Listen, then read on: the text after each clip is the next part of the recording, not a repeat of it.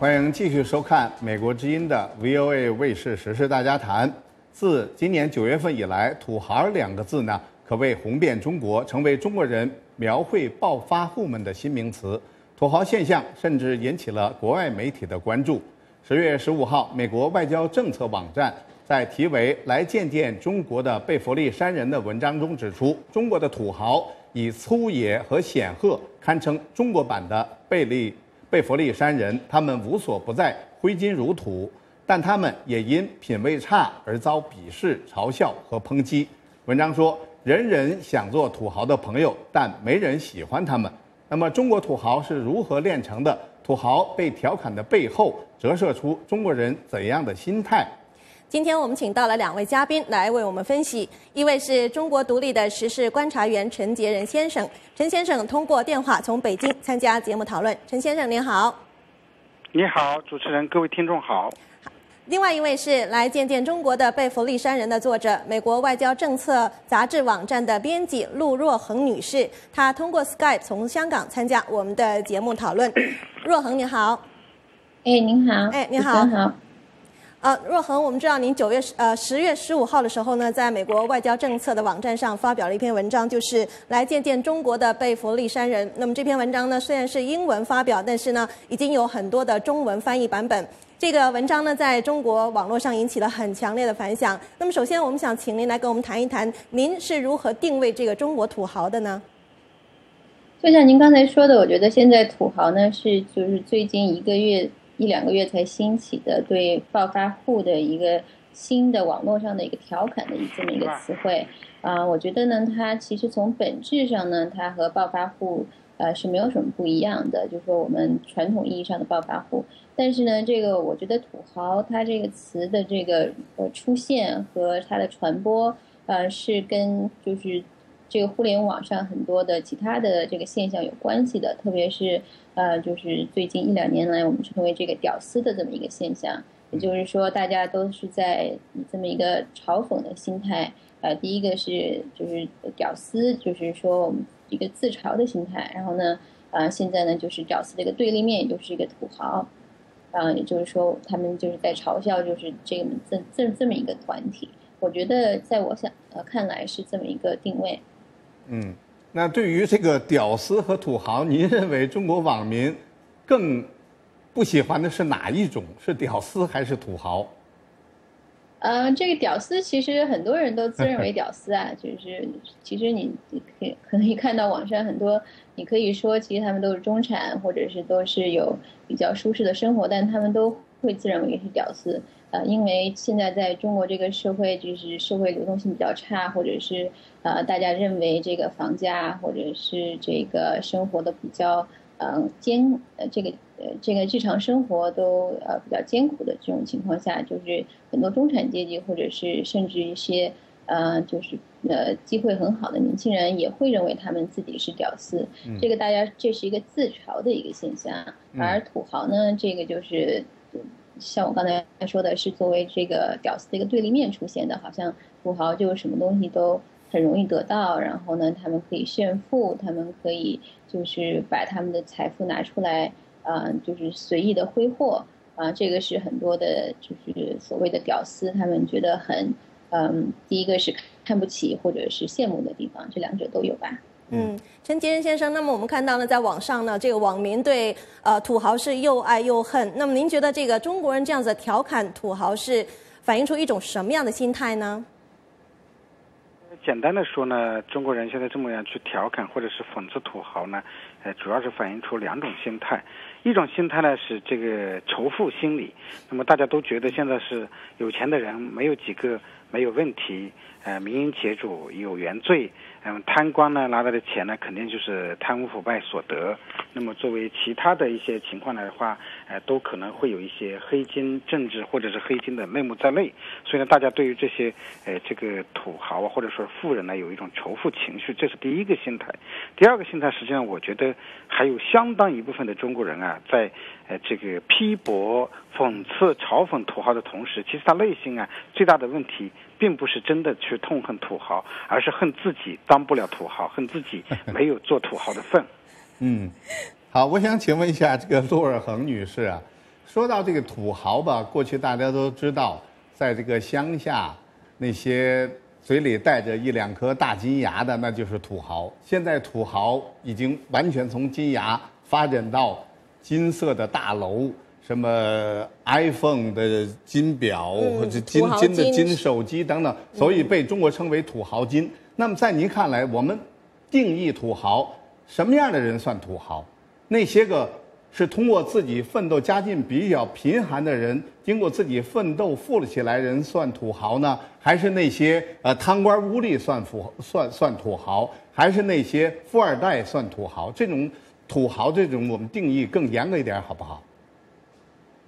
嗯，就像刚才陈老师说的，我觉得现在就是现在呃，国内可能很多人对。这个富人，不管你的钱是怎么来的，他都有一种印象，说这个可能都是来路不正的，或者他就觉得是有原罪的。不管你是白手起家，他们会说：“哎，你看你这个人白手起家，但是你是不是搞了什么关系，或者是你当时是怎么，呃，怎么积累的第一桶金是怎么来的，对吧？如果你是呃有点背景，那更不用说了，呃，那肯定就是说这个你是来路就更更加不正的。”嗯，所以我觉得呢，这个土豪其实现在很难做出一个很精准的定义，说 OK，那我就是一个好的富人，那我不是土豪，我特别有文化，我特别有品位。这个就是说，从这么一个网络文化的角度来看，很多人可能就把这个有钱的人，或者是他就都就是很统一的划到这个土豪这么一个阶级里面去，它只是一个符号，它只是折射出来就是。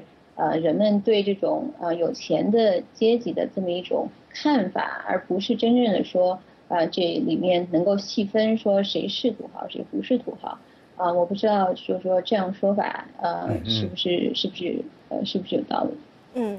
呃，若恒，我还想再追问一个问题啊，就是我们看到呢十月十五号，这个中呃福布斯公布了二零一三年的中国富豪榜。那我们看到呢，中国的富豪呢，在二零一三年呢是达到了创纪录的一百六十八名，这是亿万的富豪。那么比呃前一年呢是增加了大概五十三名。嗯，另外呢，其中是前一百名的富豪土豪的这个净呃不前一百位的这个富豪的净资产呢总和是达到一万九千两百七十六亿。元人民币。那么，在您的观察中，您觉得这个中国的中国这个富人为什么会越来越富？呃，中国的这个土豪的数量为什么会增加的这么快呢？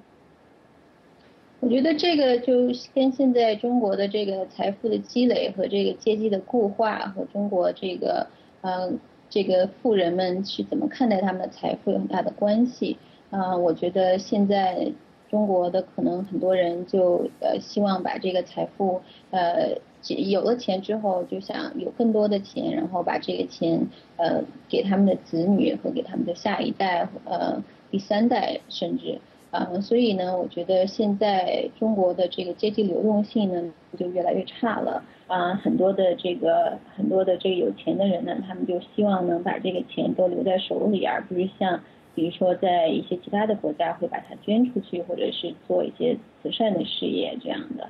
嗯，所以我觉得现在中国，呃，而且还有一个问题就是，现在财富的积累呢，有些时候是靠一些人际的关系，然后所以你这如果已经形成了一些圈子或者是一些关系网，那很难就是后来的再白手起家的人就比较难打破，嗯，所以这个第一代的这些富豪们呢，他们的财富就像滚雪球一样越滚越大，嗯，也是有这么一个关系。关于这个慈善事业的问题呢，等一会儿我们第二个话题还要进行讨论。现在我想请问一下中国独立时事观察员陈杰仁先生，陈先生，中国社会的传统的这种价值观呢，或者说传统的道德都是比较中庸、比较节俭，同时也要有善心啊，施乐好善等等。但是现在这种土豪现象可以说是彻底颠覆了中国的这种传统的价值，因为他们自己有了钱。不仅挥金如土，还要去炫富，那么这个这种土豪现象是不是当今社会中国社会的这么一个一一种写真呢？我觉得，呃，应该说从某一个角度或者说某些方面来说，确实是一个写真。其实，在探讨这个问题之前，我想也跟陆女士一样回答一下刚才有一个问题，就是什么叫土豪？简单的说呢，我觉得这个中国的土豪啊，它实际上两个关键词构成，一个是土。一个是 豪，这个土呢，传统意义上的土豪指的是生长在乡土里边的那些有钱的人。但是现在看到这个词呢发生了变化，应该说是和这个阳相结合的相对的一个土字，意思说这些人呢没有受过很多的教养，或者是没有多高的文化，但他们由于有钱呢，他们还要去很爱炫富。那么第二个关键词就是豪，那么本来说的是一种豪情，一种豪气，而现在这些土豪呢，是因为自己有钱了，那么就是财大气粗，因此呢，从土和豪两个方面，我们就可以看到这个土豪的真面。那么回到说这个刚才的问题，中国现在土豪是不是中国社会的一个侧面的写真？我觉得确实是。那么它代表了一个什么东西？就是代表了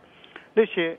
富起来的阶层，尤其是那些这个通过不正当的方式啊，这个不正当的方式可能包括腐败，也包括这个。呃，偷税漏税，也包括这个获取不正当的获取资源，或者是侵犯劳工的权利等等方式，不道德的不法的方式和那个发财发家起来的这些呃富人，那么他们呢，就是说。对于财富的不珍惜，因为他们来的容易，所以呢，呃，挥金如土，所以呢，有了钱就可以，这个以为就可以，呃，天下唯我独尊。那么这些人呢，实际上是代表了一部分富人的心态。这种心态实际上对于整个中国社会产生了一个非常严重的心理刺激。那么它不仅仅是刺激更多的一些富人呢，在攀富，在比富，在比谁的豪情更高，同时也会刺激更多的穷人和普通的中产阶级，让他们觉得这个社会。越来越不公平。嗯嗯，陈先生，您刚刚也解释说，这个豪是代表了豪气、豪情。那我们看到呢，很多国人，呃，一走出国门以后呢，是非常非常的豪气的，在花钱，可以说是挥金如土。但是呢，也有人评论说，说中国人虽然在外面呢挥金如土，能够杀进各种的这种这种昂贵的店去买东西，但却赢不来别人的尊重，因为很多中国人到了国外去，还是不敢。恶习，比如说随地吐痰呐，这种恶习，所以赢不来别人的尊重。您是怎么看这个问题的？呃，我倒是有一些不同的看法。我觉得现在这个在国外的中国人啊，在那里不包包括购买奢侈品的那些人啊，可能更多的并不是那些土豪，而是一般的中产阶级，或者是有一些余钱剩米的人。这些人呢，由于国内的一些这个税收过高、关税过高，所以他们宁愿呢出去选择去大肆的购物。贪点这个小便宜，比如说很多人到香港的金店里面去买买黄金饰品，就因为香港的金店比大陆的要便宜，大概每克三十元人民币左右。那么包括其他的一些奢侈品啊，也是在内的。所以呢，我觉得这个倒并不是一个土豪现象，但是我们还是要看到，其实可能舆论是不是放大了中国人在国外的这种不文明的现象。呃，我个人的印象，其实中国人呢，也许他在国内。可能有一些不文明的行为，甚至有一些习惯，比如说闯红灯、随地吐痰、大声喧哗。但是总体来说，到国外去出了境之后，总的来说还是比较克制了。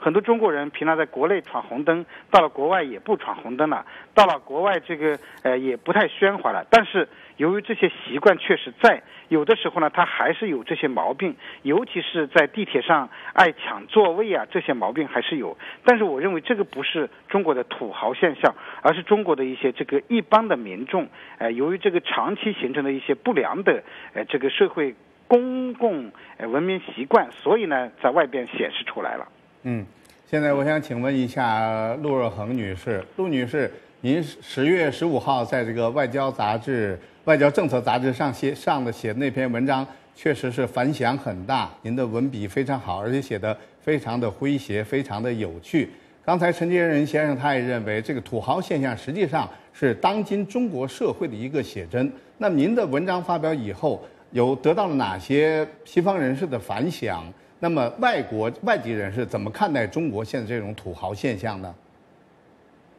嗯，我觉得我当时写这篇文章，因为是英文的，所以我刚才提到的有一些现象，就比如说它是和这个网络上一个和屌丝这个相对的这么一个。呃，现象的形成的话，我没有，并没有提到，啊我更多的只是就是就是描述了这个现在中国这个土豪的这么一个阶级的形成和大家对他们的观感。啊，我觉得现在外国人呢，就是对中国的崛起和中国这个富豪阶层的形成都很有很有兴趣，特别是一些外国的公司，因为他们对中国的这个消费文化和这个消费者的心理。和这个中国的这个就是有什么人有什么样的能力来消费都很有兴趣，所以呢，他们这我在这方面呢，他们都对这种文章呢，他们都会觉得，哎，我们是不是啊呃，就说我我我们想知道一下中中国的这个这个新的这个消费阶级是是怎么样形成的？所以，比如说我的文章中提到了这个土豪金的现象，就是苹果把他们的最新的这个。啊，iPhone 啊，这个五 S 啊，就是有一个金色的出现。就我我是提到，就是说，其实，在他们在这个嗯打造这个金色之前，就市场上就有这个就有这个谣言说啊，我们苹果要出金色的，很多人就不相信，很多外国人就说，哎，苹果怎么可能出金色的这么一个俗气的颜色哈？苹果这个平常这个颜色都是非常的素雅的，都是非常的。呃，有这种呃设计感的，他们都啊不相信，就说苹果会出这金色的颜色。但是呢，苹果就果然出了一个金色的颜色，然后呃果然果不其然就立刻在这个呃中国呃甚至于亚洲市场里给打开了一个新的局面。热卖啊，所以我觉得这个是很有意思的一个现象。可能现在外国公司都非常的关注这个中国这个对这个土豪阶级或者是这个有钱的阶级他们的消费习惯是怎么样的。嗯。好，陈先生，呃，现在网上呢，很多人都提出要打土豪分田地，我们知道这是当时的一一个一句口号。那您怎么看这个口号的？现在？其实说这个打土豪这个词呢，应该说最早出现在毛泽东呢，那有一篇文章叫做《怎样分析农村阶级》，它里面有一句话说：军阀官僚土豪劣绅。是地主阶级的政治代表，是地主中特别凶恶者，所以呢，这个过去的红色政权就提出来说打土豪分田地。那么这个口号呢，对于当时的穷人来说，确实有很大的诱惑力。它和历代的这种呃农民起义啊，想要去夺取呃政权、重新当皇帝的这个这个口号是一脉相承的。就是说，呃，那么均田地之后呢，大家就有一份了。呃，但是现在来说呢，这个网络上又说要打土豪，我想。这个可能更多的是一种这个呃情绪的发泄，因为呃很显然在目前这种呃中国的政治和社会态势下去打土豪的可能性呃几乎是没有的。相反来说，应该是这个有权者是在保土豪，而不是打土豪。所以呢，我们看到今天有一个最新的中国的新闻说，东北那边有一个村支书，他建了一个个人的一个院子，那么他的院子占地是一千七百亩。一千七百亩，可能有很多大学，一个整个校园都没有这么宽的一个一个规模，所以呢，有人就把这个庄园称为土豪庄园。我想这样的庄园真是土豪的代表，但是谁会去打他呢？因为他本身就是这个最基层的村支部书记，是党的最基层的书记，那么他就是权力体系的一个呃这个有机分子，甚至是权力体系最基础的支柱之一。我想。这个真的是一个非常好的写照，所以我奉劝网上的网友们，哎，说说可以，哎，说真的要打土豪分田地，说多了恐怕还会被寻衅滋事罪的。好，若恒，最后我们大概只有一分钟的时间，能不能请你来给我们分析一下，就是这个中国的土豪应该如何改善他们在国人心中的这种地位和形象呢？嗯，这个做慈善是一个很大的方面。如果能够有很多的这个富人站出来，能够捐献自己很多的财富，就像这个美国的这个 Bill Gates 和这个 Warren Buffett 一样，比如说能够捐献一个很可观的一笔财富，比如说他们的身家的百分之嗯百分之五十之类的吧，我觉得可能，但是不太现实，我就是说说而已啊。啊，这样可能能改善一下大家对他们的观感。嗯，好，时间关系呢，我们关于这个土豪现象的这个讨论呢，就只能到此结束了。感谢中国的独立时事观察员陈杰仁先生和美国外交政策杂志网站编辑陆若恒女士参加今天的节目讨论。不要离开，稍后回来我们将探讨的话题是中国的年度慈善捐赠总额连续第二年下降，谁之过？欢迎您准时收看。